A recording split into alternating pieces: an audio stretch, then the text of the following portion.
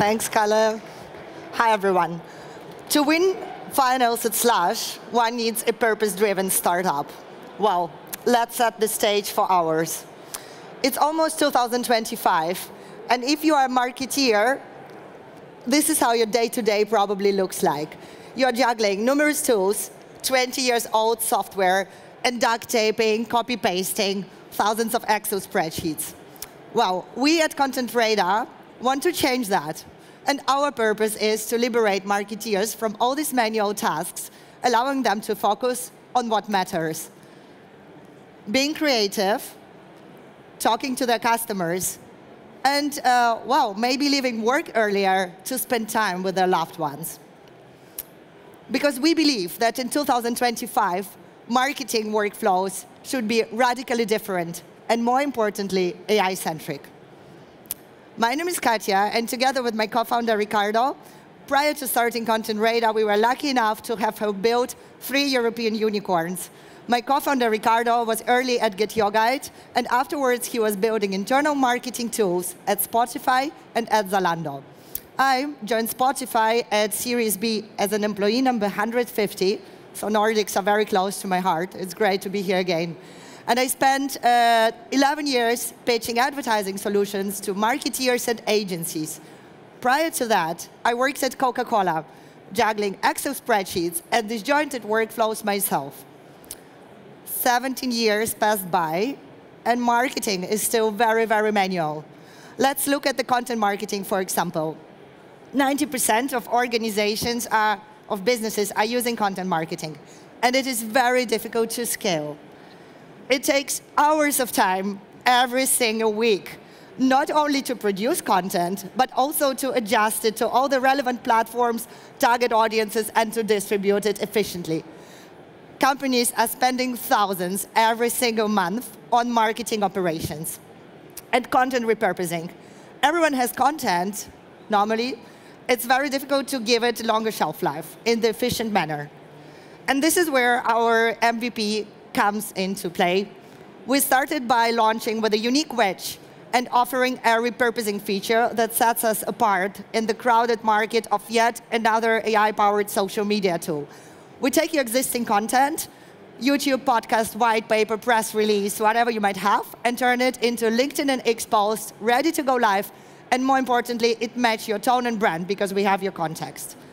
This is just the beginning, but we think it provides value but there is a major shift happening from linear static sales funnels into sales growth loops, where value content is provided at all times.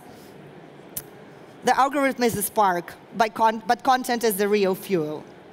That is why our next product iteration will be automation and personalization of entire multi-channel uh, funnels, marketing funnels. And it will bring us closer to our ultimate vision to create the operating system for marketing that perfectly knows your context, your target audience, and allows you to create multi-touchpoint campaigns in a proactive manner and build data intelligence over time. We started by launching on Product Hunt. We have a growing community, recurrent usage, and a retention rate of paid users we are very proud of.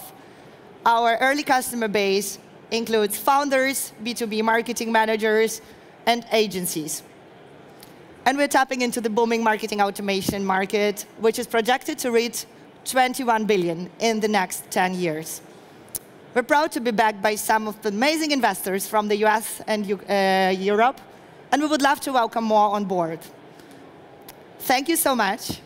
And if you'd like to join us on a mission to give marketeers superpowers, talk to me after this presentation and we also have a special code to test our product, special Slush code.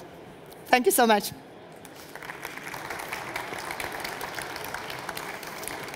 Thanks a lot, Katja. So let's begin with the Q&A. Is Otto going to start again? Hi, Katja. Thanks for the pitch. Really cool stuff.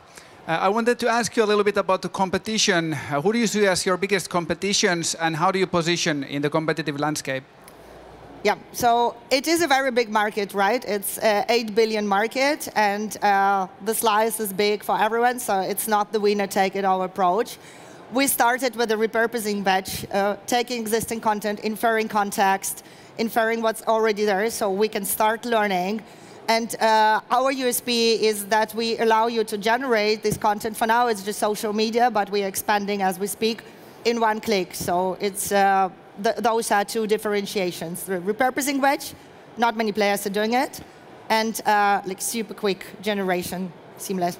Yes, Dimitri. Thank you, Katja. Um, a follow-up question regarding your ICP. Can you walk us through your ICP again? Who are you selling to exactly? Like which market tier? And um, yeah, just add a bit more flesh to the bone there, please. Mm -hmm. um, yes. So when we did uh, our very, very first soft launch, we obviously had an early adopters bubble, network of the network. So we had uh, Maria, who started, who left Octopus and started her own fund. Uh, we had other founders and uh, emerging fund managers using our tool. The tool was also much more basic than it is now as we evolve, we are approaching to our Dream ICP. I think Paul Luis should be here somewhere. We are meeting later. So he's working for Prelude. They raised 8 million round, um, and they are software company, VC-backed from France. It's a one-man, two-man marketing department, and they love having our tools because it's automate marketing operations, it supercharges their day-to-day. -day. And we also have agencies. For now, those agencies focus more on LinkedIn, but they also do like proper content funnels, which we want to build next. And uh, those are also great multipliers because they buy 10, 20, 30 seats at once. And we're building seat-based pricing also as we speak these days. It's like pre-seed live. Hi, Katja. Good to see you again. Um, thanks for the amazing pitch. Uh, I was wondering, especially if we target founders uh, in the more scattered go-to-market, um, how do you think about creating virality in your distribution? How do you get in front of all these founders? Um, how do you create, uh, think about creating this virality in, in the community? Yeah, that's a very good question. So we are part of some of the, uh, so if we target founders, this is the perfect stage, I guess. And um, also, we piggyback on our own reach. I have almost 17,000 followers on LinkedIn, mostly founders and also marketeers from my previous um, assignment at Spotify. So that's quite handy, founder-led growth. I think we had a slide over there. Yeah. Um, we already have a community and an existing follower base on our socials. We have newsletter subscribers. So yeah, for now it's founder-led. And uh, we started to invest in our own content strategy, including SEO, which a couple of months later is picking up. So it's great to see. And uh, as we speak also today, we're starting a partnership for Cyber Monday and Black Friday with um, App Marketplace from the US, which, right, which yeah. is also great timing Sorry, and it will supercharge us. Here. Yeah. Sorry. thanks, thanks a lot. Let's give a big round. thanks, Thank you, thank you. Mm.